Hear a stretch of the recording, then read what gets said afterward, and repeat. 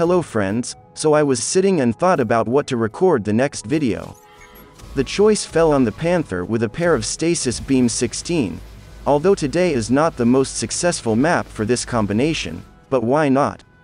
By the way, tomorrow is Agora, and there these Stasis can show some real dirt. Probably the best map for these cold babies. And so, here's the best combo of the game against me, Panther, also with Gold Futurist by the way, is holding a couple of railguns. The funny thing is that three weeks ago I just did a video on the same map, where there was an opponent also with a Panther and a couple of railguns.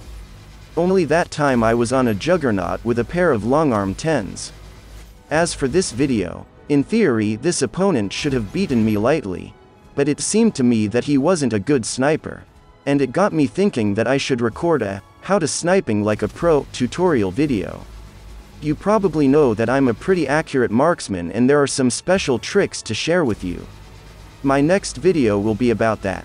I will record it for you tomorrow, so please subscribe if you haven't done so already. But perhaps this fellow's problem was not only accuracy, but also reckless actions. You don't want to leave the safe zone when you might get caught and frozen by a couple of stasis. By the way take note of this point, if you are flying mortars, hide your back from the potential explosion, it will help you save HP. While we're on the subject of stasis, some of you might not know, but in addition to freezing speed, stasis the 12th of August 16 also differ in the strength of that freezing. That is, if stasis 16 keeps the enemy almost in place. Stasis 12 handles it much worse and slows it down only slightly, then I'm afraid Stasis 8 will disappoint you. This weapon is only suitable for beginners, I highly recommend not wasting resources on it until the developers equalize stasis in terms of freezing power.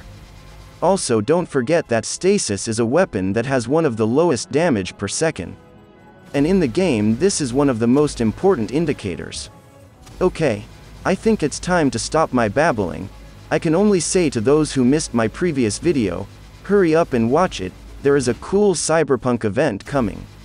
Like, subscribe, watch the video till the end and see you in the next video.